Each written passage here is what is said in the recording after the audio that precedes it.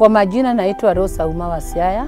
Wakati tulianza kukaa na site, nikajua mengi zaidi, nikajua mambo ya record keeping, inafaa una keep record, unajua umechukua vitu na pesa ngapi, ndio ujue umepata faida.